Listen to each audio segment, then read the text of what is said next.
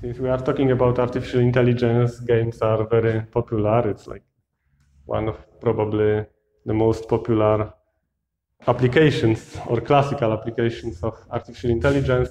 And usually we are conducting games which are based on discrete steps or turns. So we have one player, and this player can perform one of some set of actions. And after this move is made, this player will give turn or give the opportunity to the other player to decide what actions they would like to take. And then we have again, if we have only two players, they change turns and so on and so on. So we have this well-known picture you have probably seen many times when we have each player moving their pieces, for example, in turn. And you have just learned about those blind strategies and best first strategies and depth first and breadth first. So you immediately would feel how to use artificial intelligence strategies to traverse and visit all the nodes in the tree. And of course, some of those nodes, some of those nodes will result in the game ending, and you now see that some player won, for example, and you see how much, how much they won, whether it was a draw or there was some domination of one player over the other. And of course, these three may have variable depth. So maybe some game will finish very soon, but maybe some other branches in the tree could go very deep and maybe even could be infinite.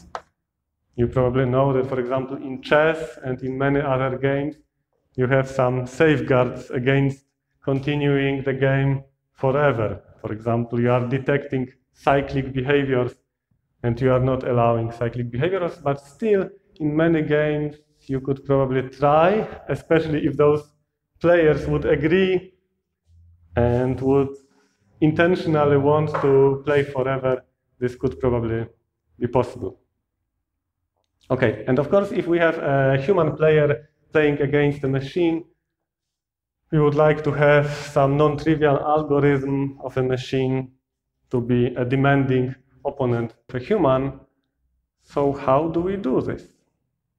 First of all, if we have a very fast machine or a lot of memory, or maybe the game is very simple, you could probably imagine having and analyzing the entire tree of the entire game. Right? For example, when you have this three by three circles and crosses, probably this is such a small game that you could even draw the entire complete tree on this table. If you have the same game but five by five, maybe it grows. I mean, the, the search space or this tree grows and it's no longer that obvious. And of course, if you have if you have checkers or if you if you have chess or bridge or Go or some other more complicated game, these three or, or maybe even those like first-person shooter games or some strategic strategic games, those trees become huge, and then you are not able to analyze them in their entirety. So you need to limit the analysis of the tree. And usually the limit is time. Given that you have a computer with some performance and some speed, the limit is time. Also consider and realize that this is like time. So when we are analyzing this tree, we are, we are looking into the future. We are at some point in, in time, in the game. This is our past. So this already happened. And now we are trying to imagine and predict what could happen in the future.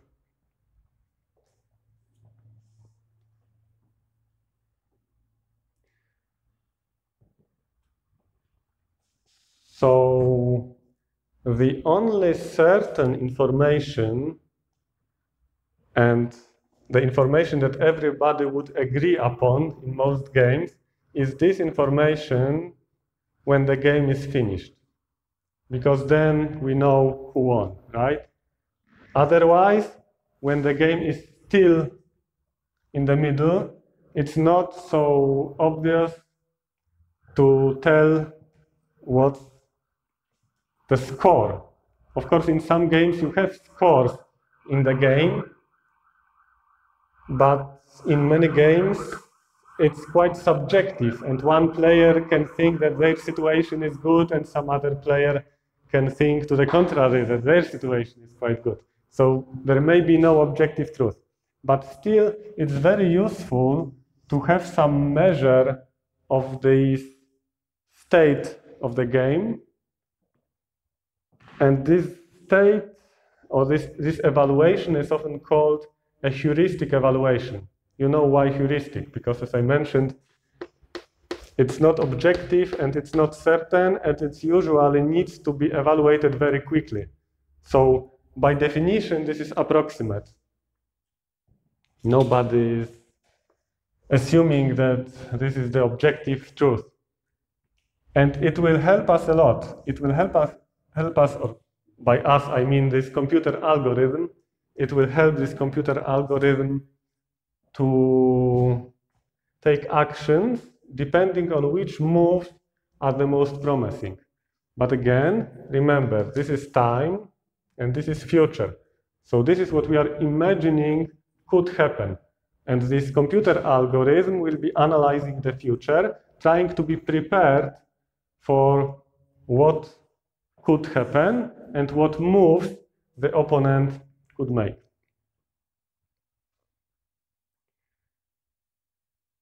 Let's assume first that we have a very fast computer or a very simple game, and we were able to imagine or generate the entire tree. So from some point, maybe we were quite close to the ending of the game, so there were not so many possibilities.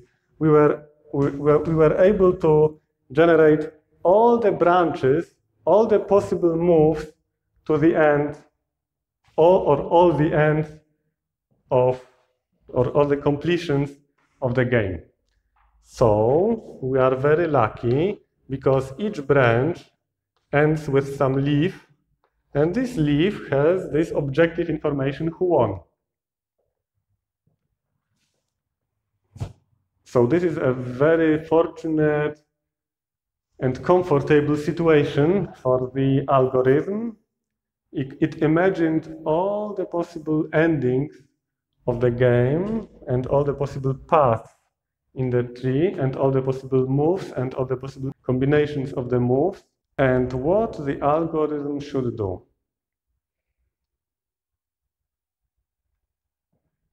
The very sensible assumption to make is that when we are at some level, when we are making a decision, what, what move should we make at this point? If this is our turn, of course, if we have some evaluation of those moves, we will be always picking the best move for us. So this is like very obvious thing to, thing to say. If we want to maximize our score, and we have some heuristic evaluations, 7.4, minus 1, minus 7, 2.4, of course, we will pick the highest one, give, given or assuming that the higher the value, the better for us. So this is, this is quite an obvious assumption. But if we are at the level of our opponent, then we will be assuming that the opponent will take the action or we will make the move which is the best for them, and we assume that, for simplicity actually, that it is equivalent to being the worst for us. So what's the best for the opponent is the worst for us, and we assume that the opponent if they only can, will choose the action which is the worst for us. It's like, being very pessimistic. Of course, it may not happen, and the opponent may take, may make some or perform some other action, which will not be as bad for us, but then we will only be happy. So we are, we are assuming the worst scenario. This is again quite a common assumption that we are imag imagining that the opponent will choose the worst action for us. Every time the opponent has any choice, they will make something unpleasant for us, as unpleasant as they, as they can. Another assumption when we perform such an analysis is that we are evaluating all those nodes. Nodes are states, like, like uh, you can imagine we have some board, like on, on a chess, we have chessboard. When, when we are evaluating the state of the board, we have some common point of view or some common scale. So it's not like we are using one heuristic function for us and another heuristic function for the opponent. We are using the same heuristic function, so we have the same scale. And again, for simplicity, let's assume that we are trying to maximize this evaluation, and this evaluation is made from our point of view, and the opponent is trying to minimize the score. But the evaluation is still made from our point of view. Because if we wanted to evaluate the situation from the opponent's point of view, then they would want to maximize their score. But we, for simplicity, let's assume that we are evaluating always the state from our point of view. So if it, if it is our turn, we are maximizing the evaluation. If it is their turn, they are trying to minimize this heuristic evaluated value or quality of the state. Okay? These are all our initial assumptions. Now, if we were so lucky to analyze the entire tree and we have all the endings, we have a very simple situation. Every time the opponent has any choice, assuming this pessimistic strategy, every time the opponent makes a move, we assume they made the worst move for us. So we will choose the lowest, or we will propagate propagate up the lowest value of all the moves that were possible for the opponent. Okay? So if, for example, we are here and this was opponent's move, and the opponent could make this move and this move and this move and this move and this move, and it was minus 1, 4, 7, minus 2, and 10, we assume, since this is the evaluation from our point of view, we assume that the opponent will choose this move, minus 2, because this is the worst for us. Okay? So if this is true, we will propagate up this information and we will assume that if we ever ended in this state in the game, since the opponent will choose the worst move, then this state in the game for us is as good as minus 2. Because it will lead to the opponent making this terrible minus 2 move, okay? So every time there is the opponent's move, we assume they will make the worst action. And this is why we propagate this worst information upwards. But if it is our move, we will, of course, choose the best action for us. It was, I guess, 7.5. So we propagate the best information, the highest value, and this node will be worth 7.5 for us, because if we ever reach this node in the game, we know that we will choose the best action. And the best action will be worth, or will lead to another state which is worth 7.5. And this is why we have this name of the algorithm, which is called min-max. And max refers to those levers when we make our move we are maximizing, and min refers to the levels where the opponent makes their moves, and they choose the lowest, the lowest value. So if we have reached all the endings of the game, and we have this objective information who won at the leaves of this tree, we should simply propagate this information upwards, upwards, upwards, upwards, through, through these levels, min, max, min, max, min, max, min, max, until we reach our current point in the game. So, so the present, probably this is, this is the present moment.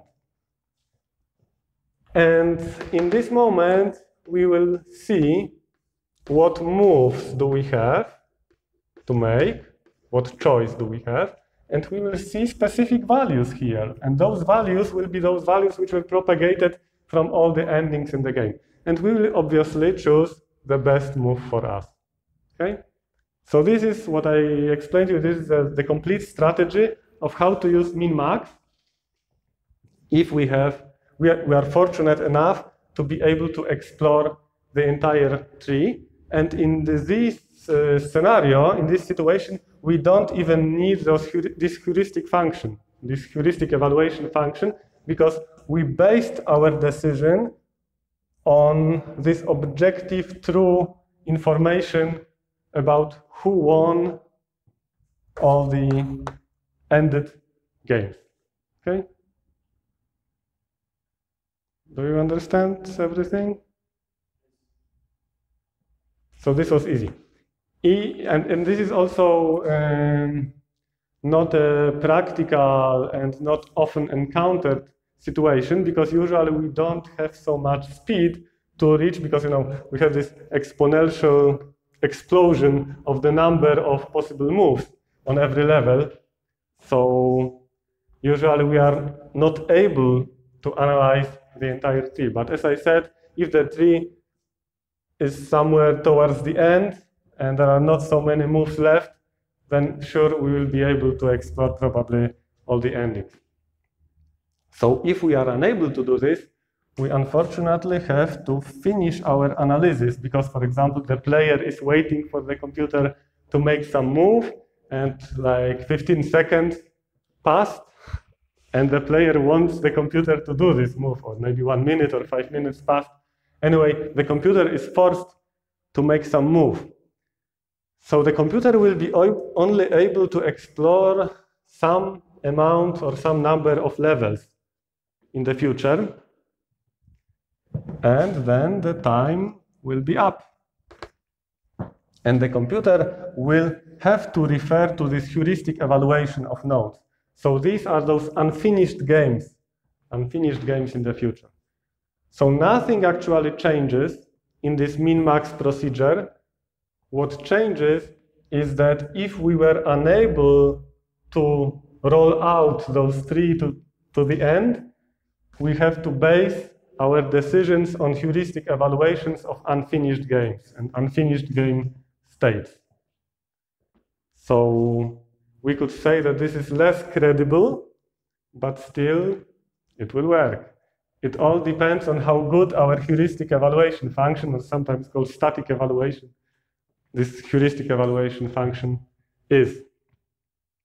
Of course, the more trustworthy this evaluation function is, the better, but usually trustworthy evaluation functions need more time or require more time to be computed. So there is a trade-off between having a quick and uncertain and imperfect, imperfect evaluation function and spending a lot of time analyzing this state and having trustworthy um, evaluation that takes a lot of time. And if it takes a lot of time, it means that we will not be able to unroll this future more. So we will need to finish our analysis earlier in the future. So that's why I'm saying that this is a trade-off. Because sometimes we want to have simpler function, less accurate, but we will be able to analyze more future. So I think this was all simple. And this min-max is quite trivial. what is usually not trivial, is a modification of this algorithm which will save us some time, save us some time in the analysis of this tree. And this modification is called alpha beta, alpha beta. But before we talk about this, I would like you to think about one of the algorithms, optimization algorithms we talked about a long time ago. And this algorithm was called branch and bound. Branch and bound. So how branch and bound worked? Just to remind you, we also had a tree. And at the root of the tree, okay, we are talking about, we are now talking about optimization. So we had a huge set of solutions and we were trying to find the best solution. We had a tree and at the root of the tree, we assume that we don't know anything about our solution. And then we were building our tree, adding pieces of information we were adding pieces of information on each level until at the leaves of this tree we had complete solutions. So this is the level when we had complete solutions. This is the level when everything was incomplete. And on subsequent levels, we had more and more information. We were filling more and more pieces in our solution. But each of those incomplete solutions, actually, it was not possible to evaluate them because they were not correct. They were, they were not feasible at all. Some, like if we are, for, for example, considering traveling salesperson problem, these were incom incomplete routes, but we still were able to tell that all all the solutions that ca came out of this, of this partial solution, will be worse than something. So for example, the length of all the routes were higher than some value. Now, do you remember this branch and bound idea? This was the branch and bound algorithm. And I'm reminding this because alpha beta is very much like branch and bound, but it's like a double branch and bound, or branch and bound in two ways, or branch and bound performed simultaneously in two directions, in two contradicting or opposite directions. Okay. Let's see first how min-max will work, and then we will see how alpha beta will work. Min-max is so trivial that it will be very obvious. This is our initial state in the game. We have four moves to choose from. This is our opponent. And let's assume we were lucky and we know for certain, or maybe not for certain, but we anyway we trust those values. I'm just putting I'm just putting random values here.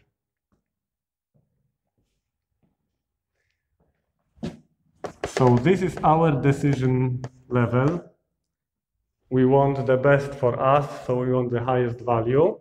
But after we make this move, we, we don't yet know which move out of those four we will make, but we know that from each of those moves, the opponent will also be able to perform some moves. So this is the level of our opponent, and the opponent will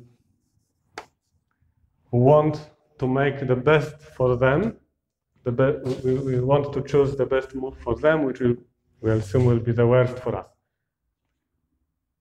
So, in full min-max, as I mentioned, this is trivial. Here the opponent will choose minus 1, here the opponent will choose 1 because this is the lowest number. Here we have 0 and 7, so it will be 0. 4, 13, and 1, it will be 1. Okay. So for us, we have minus 1, 1, 0, 1. Those two are best. Depending on our search strategy, we will choose either the first best, or the last best, or random best, or maybe we will return this information, this complete information about those two moves and use some other policy to choose the best.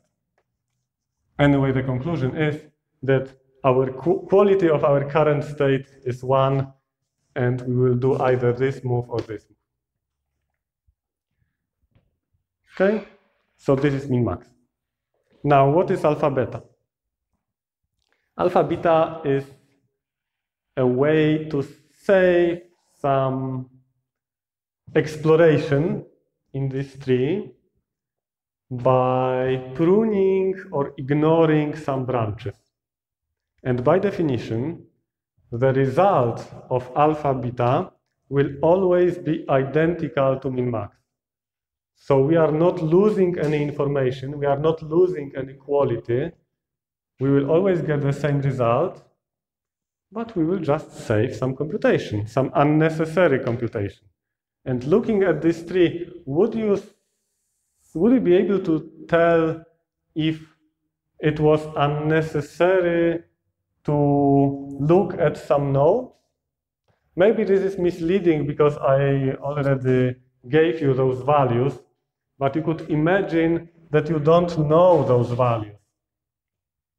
And the question would be whether the result would be the same even if we didn't see some values here, and what's more, the result would be the same no matter, no matter what values would be hidden. Or no matter what values would be discovered under those hidden, those hidden nodes. Let's consider some examples. We have four choices. Here is our opponent. And the opponent has some, some number of choices.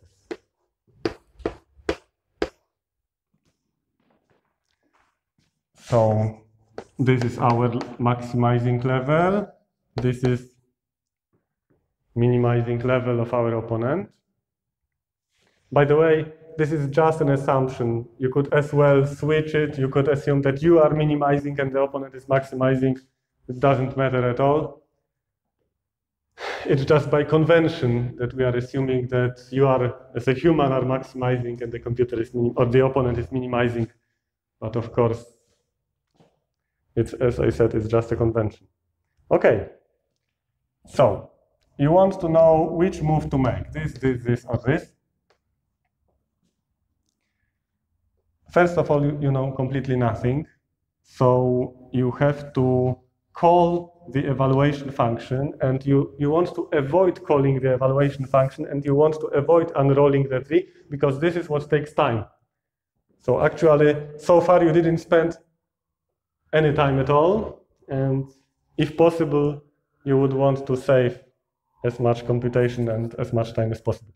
But you, don't, you know nothing, so, so you have to know something. Okay, so you are asking, what's the evaluation of this node? Let's say it's 5. Okay. If you know that this is 5, you already know something. You know that your opponent will make a move. You don't, you don't know which move, this or this or this, but you still know that this state, from your point of view, has which quality?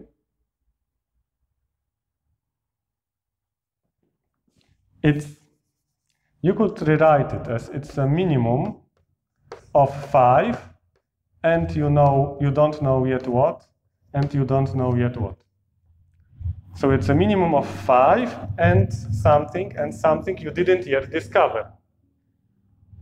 And instead of writing minimum of 5 and whatever and whatever, you could as well write it as less than or equal 5.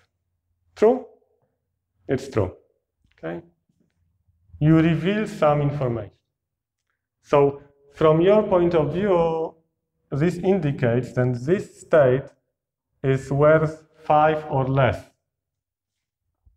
You don't know precisely how much. And now you should, you should realize this analogy to branch and bound. When you also were promising that this part of the solution will be worse than something. Like all the routes, cyclic routes, will be longer than as many miles or as many kilometers, right?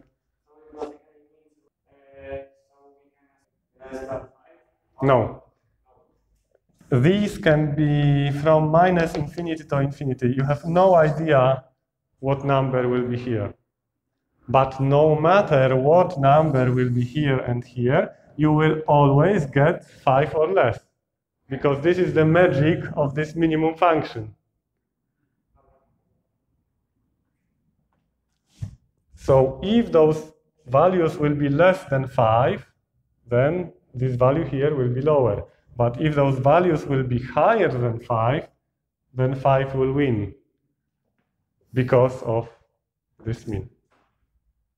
You could at the same time ask whether you are able to say something about this node and this decision. But since we don't know yet anything here, we cannot say much on this higher level at this point.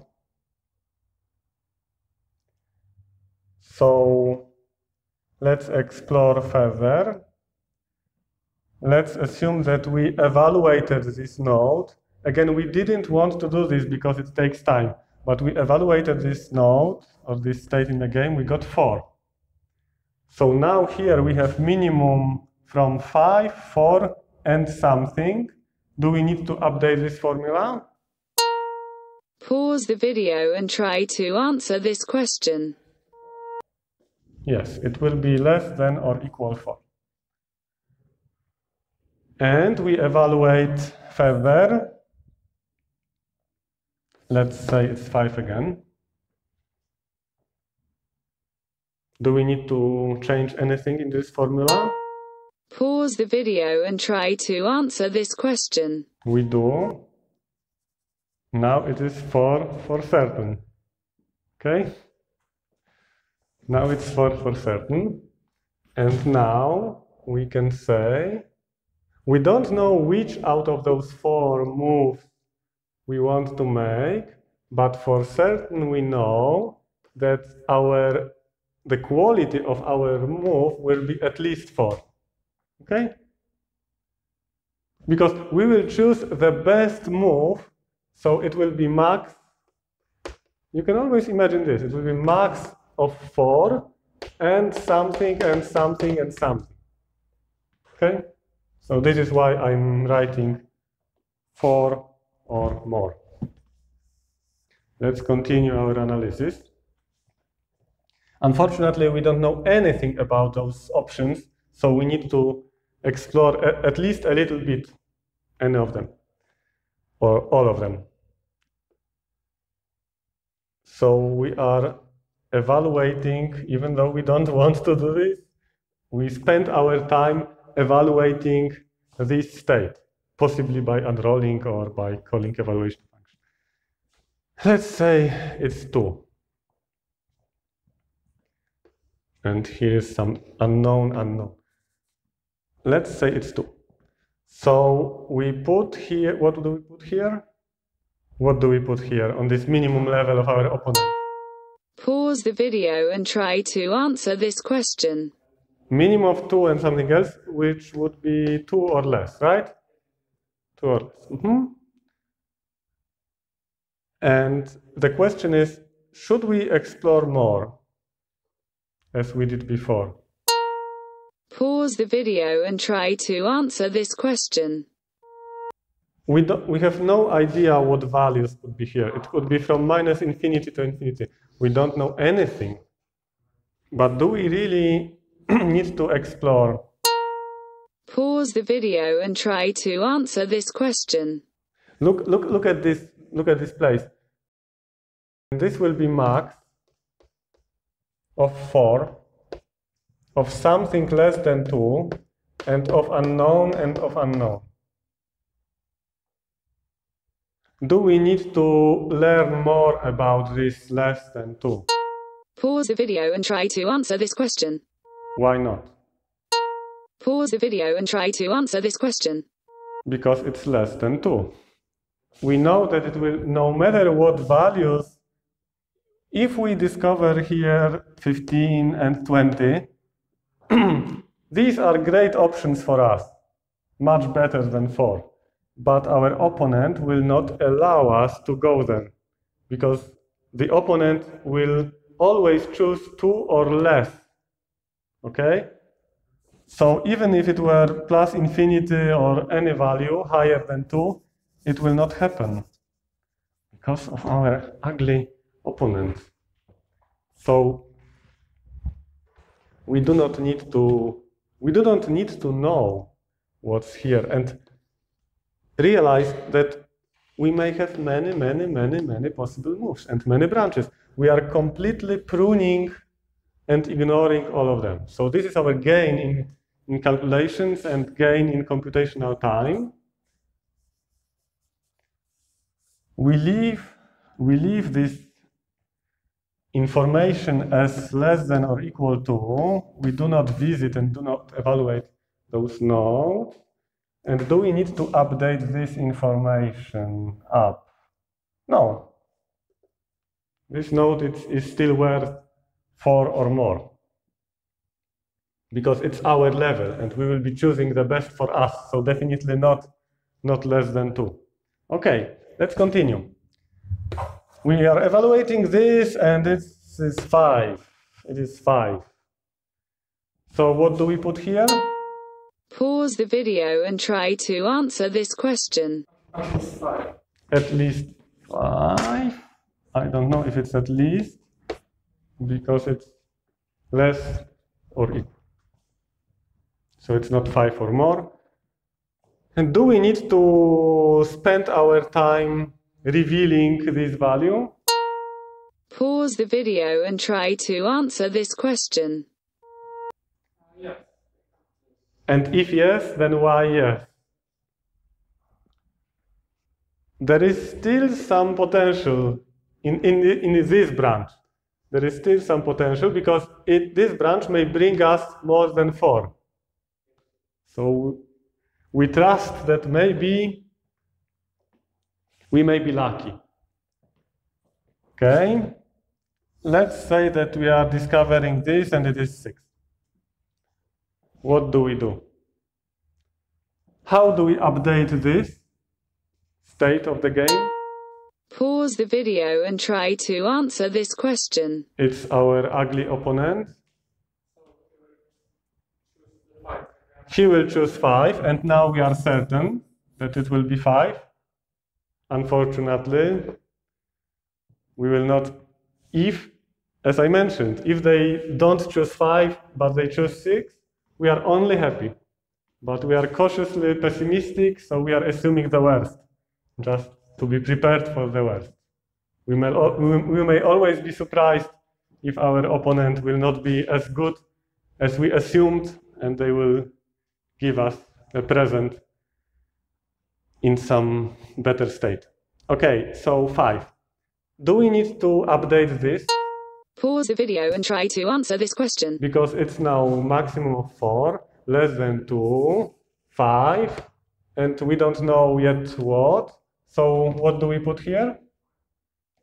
Exactly 5 or at least 5? 5 or more.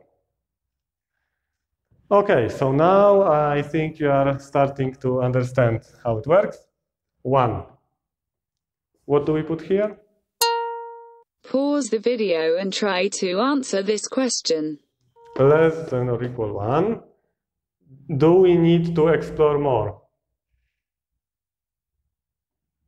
Uh, I mean, do we need to learn the evaluation of those states of the game?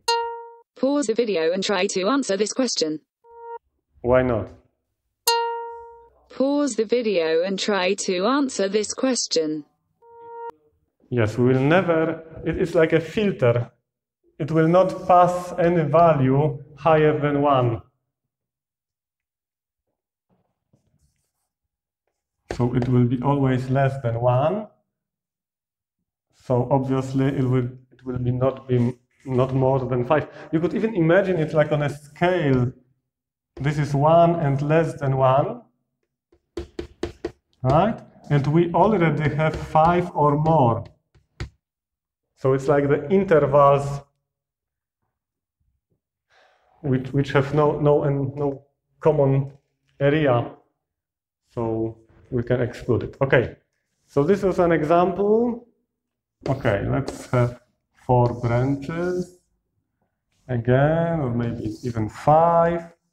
But this time, to avoid getting used to this max min, we will make it min and max. So like considering the same thing for, from a different perspective. So we are not overly used to this specific situation. By the way, we are still getting used to, to the situation when we only have two levels. And in reality, this algorithm will work across many levels. But for simplicity, let's stay, let's stay with two levels. First of all, we, we need to reveal something, at least to have any specific information. So we will probably reveal all those three numbers. Mm, do you want to pick any number? Give us some numbers, some integer numbers. Six? Okay. So we know here that this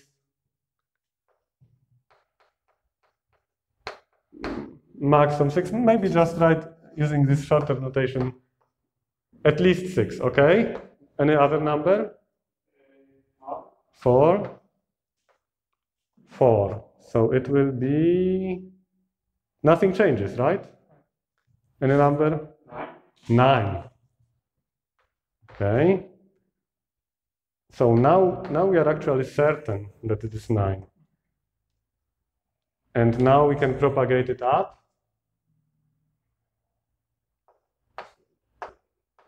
Mm -mm, no, because this is the minimizing level. So it will be less than 9. This guy, this guy here in, is interested in the lowest value out of 5. Okay?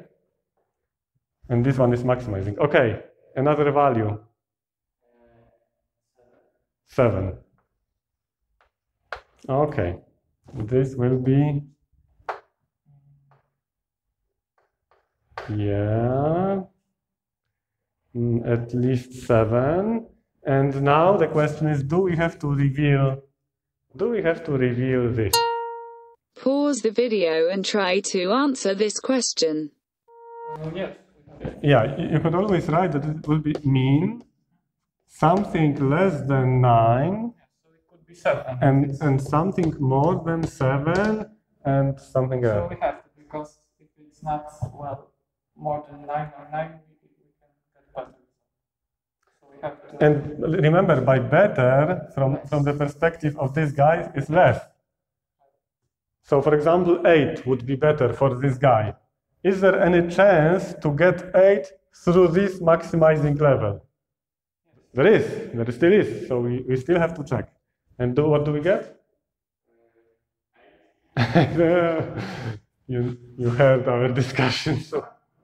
Okay, it's 8 for sure. We still don't, okay, yes. So give us more numbers.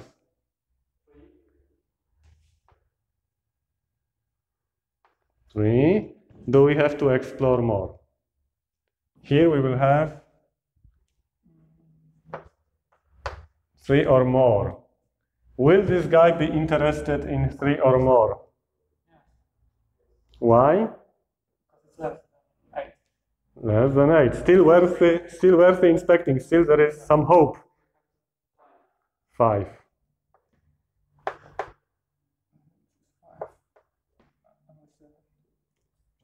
Still checking? Still checking, still checking if this, because this may bring us or fulfill our hope, but maybe not. We still don't know. One. But this guy is maximizing. Uh, and this was the last branch. This was the last branch. So we have 3, 5, 1. So this, this will be 5. And this will be less than 5, because this is now the best move. Great. More numbers. 10.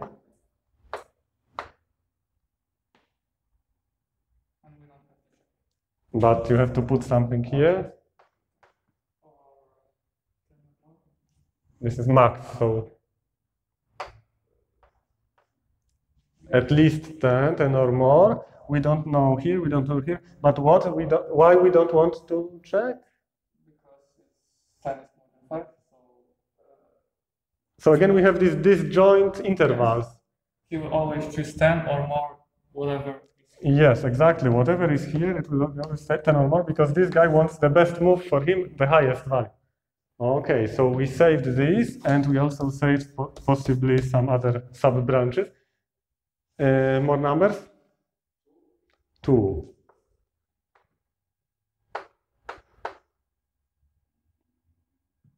Do we need to analyze those remaining nodes? Pause the video and try to answer this question. There is still a chance to be less than 5 Mhm. No, you said six. Let it be six.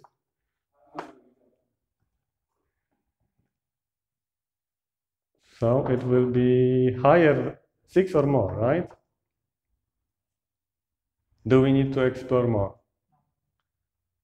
No, because this this filter. Okay. So five, five was our certain decision, and this is the best move, right? The best, the most optimistic move. Okay, so I will only repeat that the result of alpha beta is by definition the same as min max.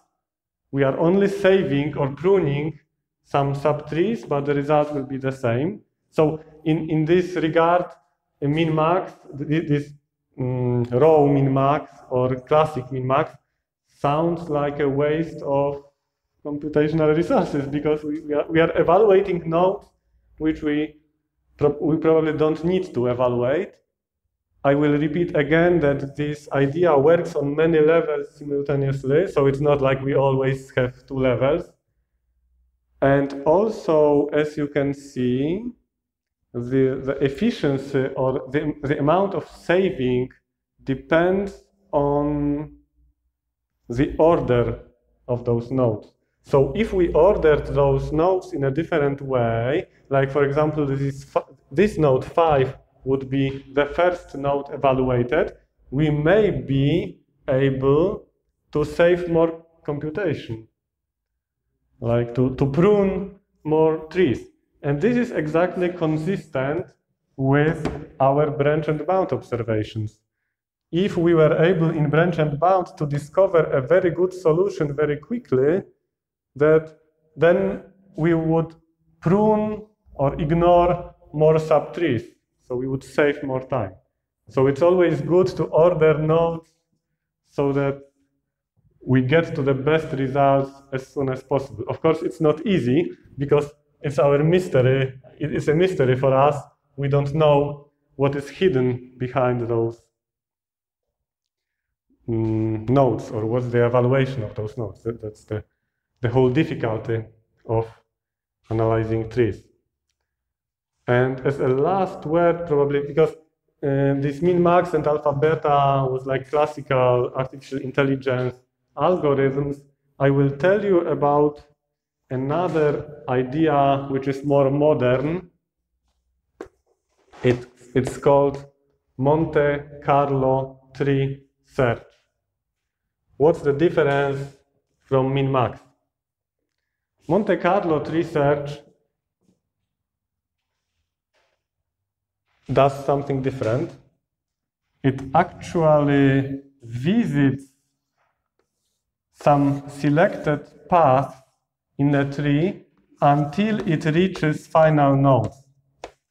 But we know, since we have this exponential explosion in the number of possibilities, right? There's like pure combinatorics, 10 times 10 times 10 times 10 times 10 times 10 on every level. We cannot unfold all the tree. So that's why Monte Carlo.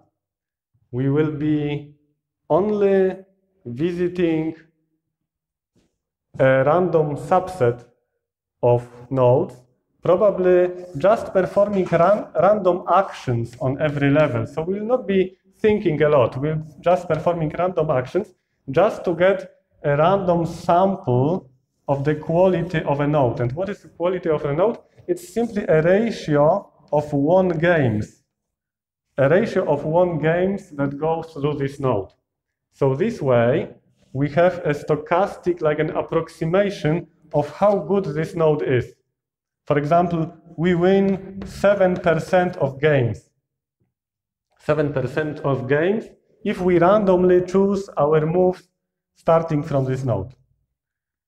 And this is the difference when we compare uh, Monte Carlo tree search to min-max or alpha beta, because we are not basing this knowledge, this 7%, we are not basing this on a heuristic evaluation of, of the board, right? We don't need heuristic evaluation at all, or this static evaluation of, of the game state.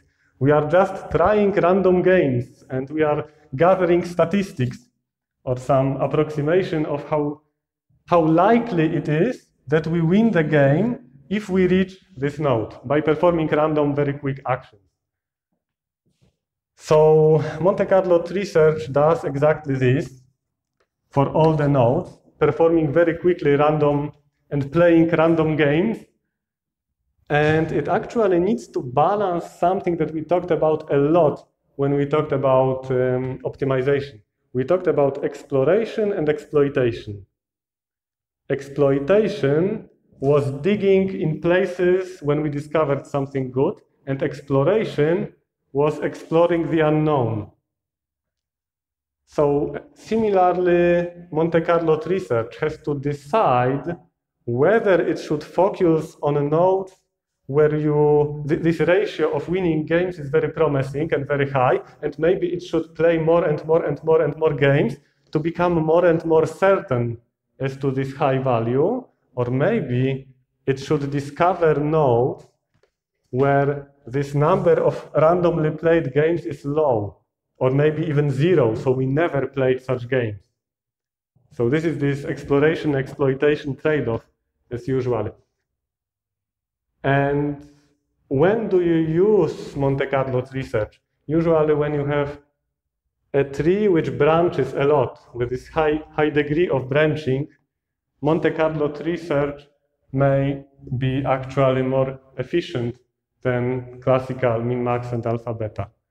So in modern playing engines, Monte Carlo tree search is often used, and you can actually mix both approaches. So you could mix Monte Carlo tree search with min-max. You can mix Monte Carlo tree search with heuristic evaluation because you don't need to you don't need to play the games until the end if you don't want to. So it's all up to you which technique you use and how you will modify it according to your needs if you want. Okay, any questions to min-max, alpha, beta?